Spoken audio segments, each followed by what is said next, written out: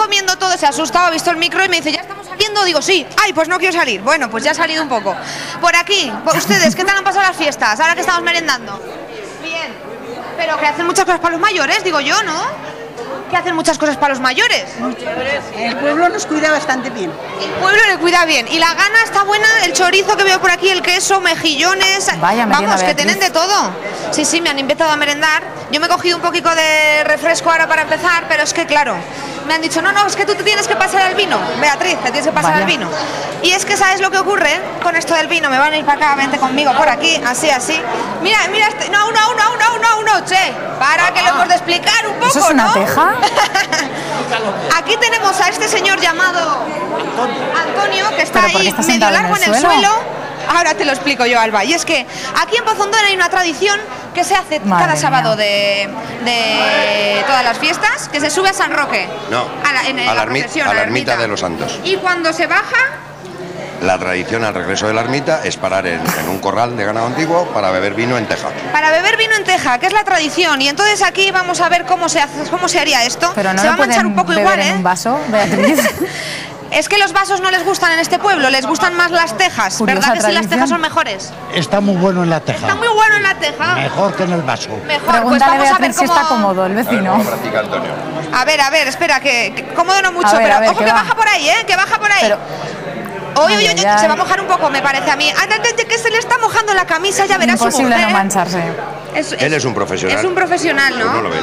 Por lo que veo. Lleva tantos años practicándolo que ya levanta la mano y stop. Ay, ay, ay, ay, Levanta la mano. Ay, ay, ay. Pero has visto cómo se ha puesto. Un poco, un poco se ha manchado. Pero, ah, bueno, esto es normal. ¿Tantos mancháis? Sí, más, más aún, más aún. Pero además es una tradición de hace mucho Es que tiempo, luego, ¿no? luego allá arriba se, se tira el vino con un, con un pozal.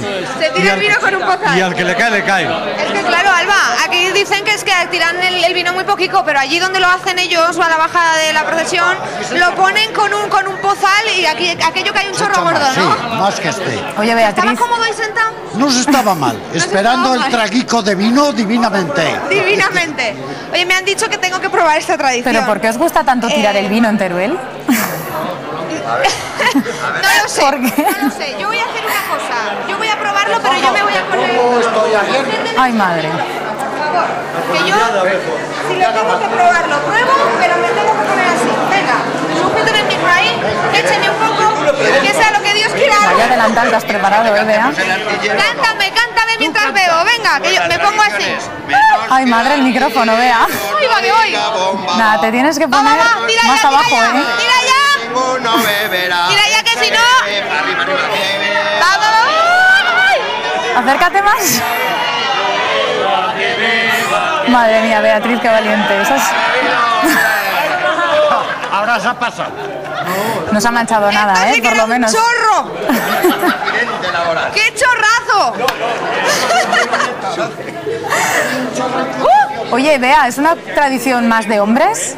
Y las mujeres se dedican luego a tradición de limpiar hombres las y de mujeres, de mujeres también, Ah, por aquí vale, tengo alguna. vale. También se, se Ya veo que ponen ahí a la teja. Me han dejado, me han dejado buena, ¿eh? Estos hombres son más malos. Malos, Además de la Puebla de Alfindén. De la Puebla de Alfindén. Bueno, voy a ver si me seco un poco y a ver si me enseñan un truco para que no se me vaya todo por aquí, Alba. Y mientras a merendar todos. Oye, te has ganado una merienda, ¿eh, Beatriz? Pica algo por ahí que te dejarán.